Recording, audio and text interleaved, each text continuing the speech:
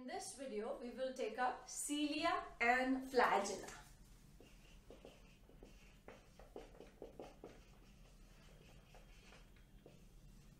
They differ in certain things and they have certain things which are similar. We are talking about the differences first and those differences are normally on the external things.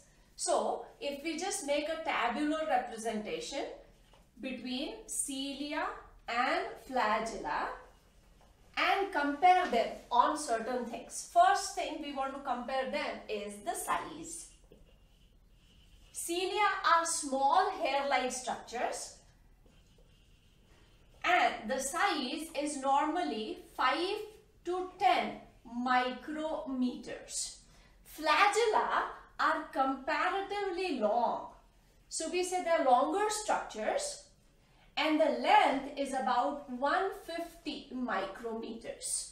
So cilia are much smaller as compared to flagella. So there's a difference in size also.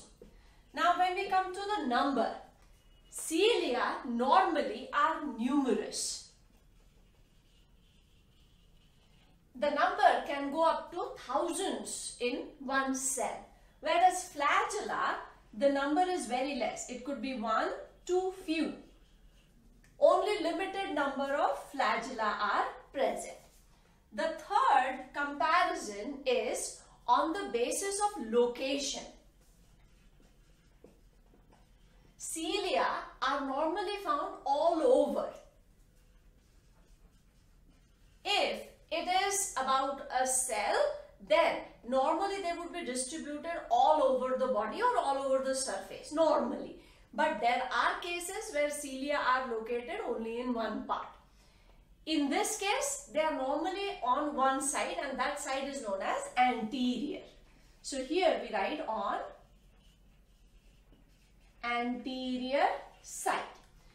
The next comparison is on the beating part. That means how do these structures move.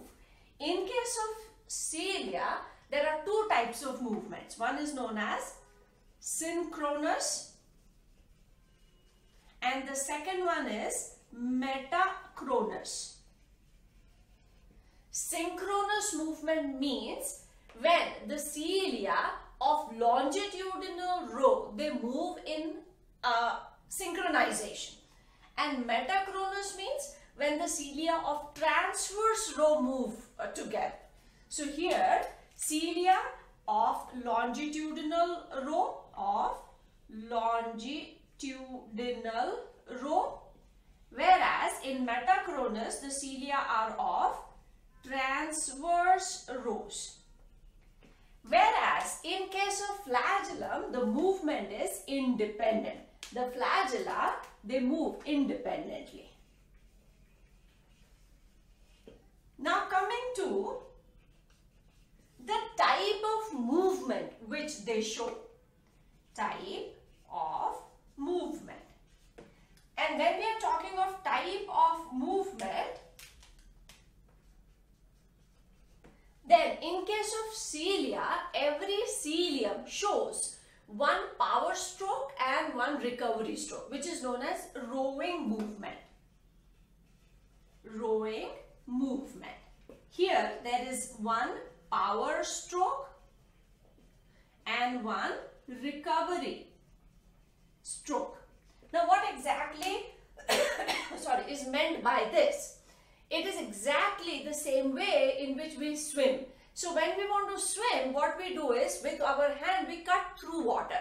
So this water we are moving backward. In response to that, our body uh, is propelled forward.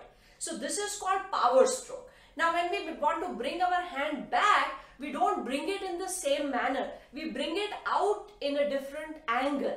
And that is so that when we move our hand back to the same position, we don't cut through water.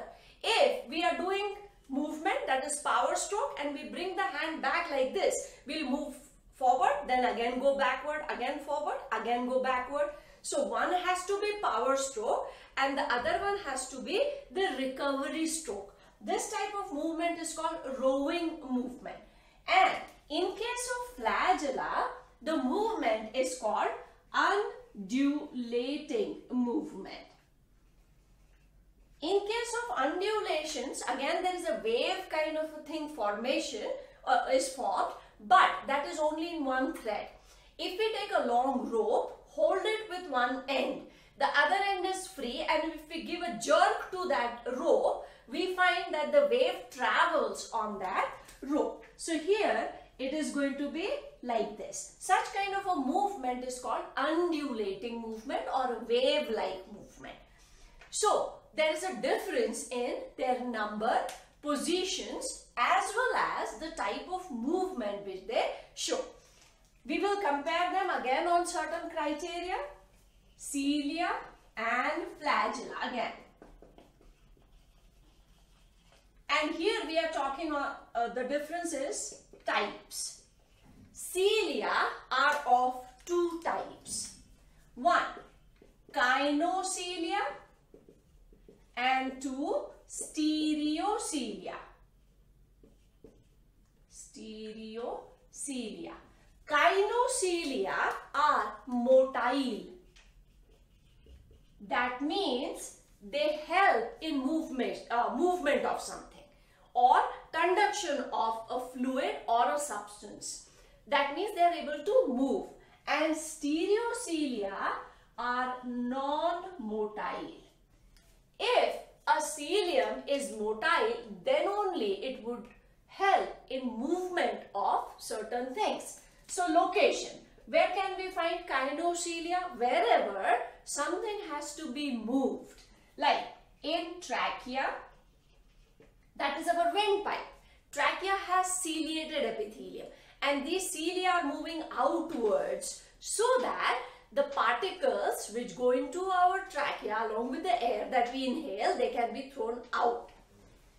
It can, this kinocilia are also present in the fallopian tube. They are also present in the kidney tubules. In fallopian tube, the egg has to be conducted or after fertilization, the zygote has to be conducted. So there these cilia would help in the movement of that structure. Similarly in kidney tubules the nephric filtrate has to be conducted. So kinocilia are found in those areas where something has to be moved. Non-motile these are found in sensory parts or we can say sensory cells. For example, gustatoreceptors, our taste buds, they have these kind of cells the upper end of these cells, they have these cilia which are non-motile and from the lower end arises a nerve fiber. And this is saliva. So when we eat something, the chemical gets dissolved into this saliva. That chemical when stimulates this stereocilia, then the impulse is conducted to the brain. So, if nothing is to be moved, the cilium should be stereocilia type or if something is to be transported, conducted, then it should be kinocilia. There is one more difference between the two and this difference between kinocilia and stereocilia we will take up after understanding the structure. Coming to the types of flagella. Flagella are also of two types. One is known as whiplash type of flagella and the second one is known as the tinsel type of flagellum. Whiplash means hunter-like. Its base is wider and the tip gets narrower. In case of tinsel type, it is pretty much of the same diameter and on either side there are bristles. The most common type of flagellum is the whiplash type. But tinsel type we find in the zoospore of brown algae. In brown algae, zoospores, there are two flagella. One is whiplash type and the other is the tinsel type. So these are two types of flagella. Let us compare these two structures on the basis of the functions also. Here we have compared them on the basis of the types and now coming to the function. Cilia help in locomotion. In case of say paramecium, in paramecium all over its body, it's a unicellular organism, all over its body there are cilia and those cilia help in locomotion. Cilia also help in capturing food. Now, how is this or how are these cilia helping in capturing of food? So, let me draw this paramecium here. This is a slipper animalcule and all over its body there are these cilia. These cilia which are all around they help in locomotion.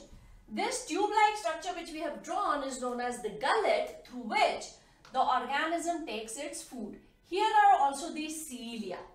But the cilia are inwardly directed. The movement of cilia is such that it creates a whirlpool. Now what exactly is a whirlpool? Whenever a liquid is moved in a circular manner, a cone-shaped structure is formed. Suppose we take water, add sugar into it, with the spoon, if we stir it, then we find a cone-shaped structure formed. And if there are particles floating in it, all those particles would come at the tip or at the point of that cone. So when these cilia move, a whirlpool is created in this water and all the food particles they come here and then these food particles are taken in. So that is why we say it helps in capturing of food. So it helps in locomotion, it helps in capturing of food and if we are talking about uh, flagella, flagella help only in locomotion. They don't help in capturing. And here we can also add one function because there is a special type of cilium which is stereocilia. So here they can be sensory also which is not the case in case of flagella. So these are the differences between cilia and flagella. But they have many many similarities. Internal structure of both the structures is exactly same. Composition is also same. So when we draw the internal structure, it's going to be common for cilia and flagella. And after discussing the detailed internal structure, then again I'll tell you the difference between kino and stereocilia which we have not mentioned here. So in the next part we will take up the internal structure which is common to both that is for cilia and flagella.